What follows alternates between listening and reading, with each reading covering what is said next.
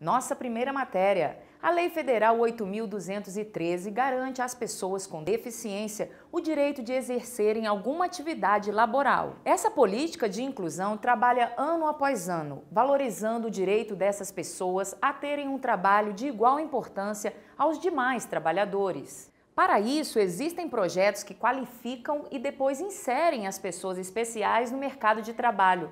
E a Biblioteca da AGU agradece. Hoje no Brasil, quase 24% da população é composta por pessoas que possuem algum tipo de deficiência. Isso quer dizer que o país possui mais de 45 milhões de pessoas com deficiência, os chamados PCDs. Segundo os dados da RAIS, Relação Anual de Informações Sociais divulgados pelo Ministério do Trabalho, somente 403 mil pessoas com deficiência atuam formalmente no mercado de trabalho e isso corresponde a 0,84% do total de vínculos empregatícios.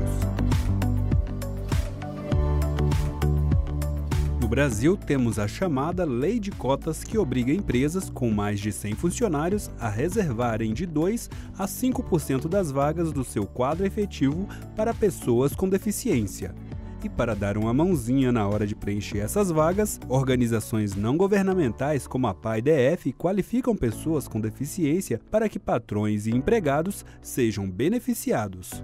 A ONG desenvolve, junto à Universidade de Brasília, o projeto de higienização, conservação e pequenos reparos de bens culturais que ensina pessoas com deficiência intelectual a trabalharem com restauração de livros. Esse programa é, ele foi criado pela Maria Helena, que é a diretora pedagógica da PAIDF, e ela, é, observando um grupo de uma cooperativa no Rio de Janeiro, onde é, profissionais da área de restauração tinham é, pessoas com deficiência trabalhando na sua equipe. Então ela teve essa ideia, né, que foi uma ideia muito feliz, porque Brasília é uma cidade administrativa que tem muitos documentos, muitas bibliotecas e muitos arquivos, né?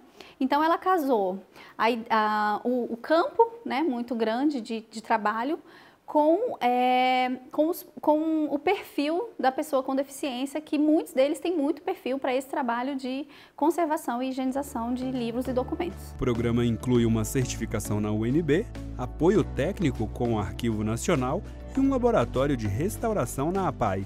A gente tem um tempo de certificação, então aqui dentro da UNB eles recebem um certificado emitido pelo reitor, tem uma cerimônia de certificação e é uma média de dois anos o curso de qualificação profissional. Então, a cada dois anos a gente tem esse, essa certificação.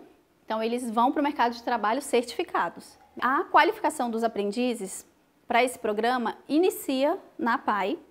Lá, é, eles são inscritos na PAI, passam por uma avaliação lá mesmo e já recebem primeiro, os primeiros, é, as primeiras orientações que dizem respeito ao trabalho e os primeiros testes de avaliação que, que, é, que definem as habilidades. Então, assim, são encaminhados para nós, aprendizes pela PAI, para essa oficina de qualificação, aprendizes que já têm um perfil do emprego apoiado né, e um perfil para conservação e restauração. E esses aprendizes passam por três momentos de preparação. Primeiro, é a formação básica para o trabalho, que acontece mesmo na PAI, né? a qualificação profissional, que acontece aqui na UNB, e a inclusão laboral, que, são na, que é na prestação dos serviços, nas equipes de prestação de serviço. E quando o assunto é dedicação? Na verdade, eu percebo que eles são muito corajosos. Inclusive, a gente percebe é, quando a gente está ensinando a conservação para pessoas, para novos servidores ou estagiários, a gente percebe uma grande diferença do trabalho da APAI e, de, e dessas pessoas que estão sendo ensinadas.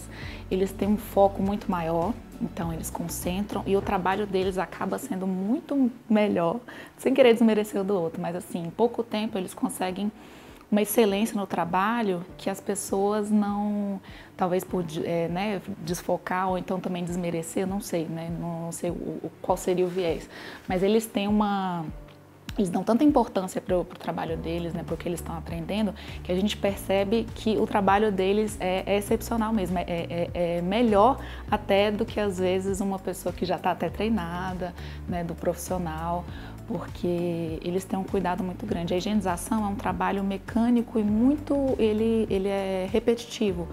E você vê que assim, eles não reclamam, eles estão lá focados do começo ao fim do livro. Então o livro ele sai muito melhor higienizado. Eu acho interessante isso, essa comparação assim. Olha só a satisfação de quem ensina. E eu acho que é o mais importante isso mesmo, a relação humana que a gente tem. E, e estar dentro da universidade é muito importante para a universidade também. A gente aprende muito com eles, todo dia é uma lição, né? Então eu acho que essa troca é muito justa, né? Às vezes a gente se sente até em dívida, porque eles trazem muita coisa para a gente, né? Muita coisa Muita, muito, eles trazem muita, muito conhecimento, muita informação nova, muito aprendizado para a gente. Então, é, é, é por esse lado que eu gosto de olhar eles também. A gente conhece eles pelos nomes, as histórias, e eles, quando voltam contando do, da, do trabalho deles, é muito legal, muito interessante. A gente sente orgulho. É a menina dos olhos. E a biblioteca da AGU é um bom exemplo disso tudo. Por aqui, o Alisson, Karen e Rayane são responsáveis pela conservação dos livros. Ah, tem a Janaína também, que no dia da reportagem não pôde esperar nossa equipe. O trabalho que essa equipe faz é pra lá de especial. E uma das professoras que se dedica ao programa e a eles é a Mileide. Muito gratificante, porque é, assim, a gente está mostrando né, para as outras pessoas que eles são aptos, né? Porque existe esse estigma de que o, o deficiente intelectual com múltiplas deficiências né, é incapaz. Muita gente, infelizmente, ainda enxerga assim, né? Como incapaz. E aqui eles vêm e prova que não. Eles têm conhecimento, têm entendimento, eles compreendem aquilo que é passado, eles fazem com cuidado, com amor, dedicação. Então, assim, para a gente é muito gratificante você ver que realmente é, eles têm essa, essa condição, né? Basta oferecer. O trabalho feito na AGU proporciona aos meninos formação profissional, inserção no mercado formal e outras coisinhas mais.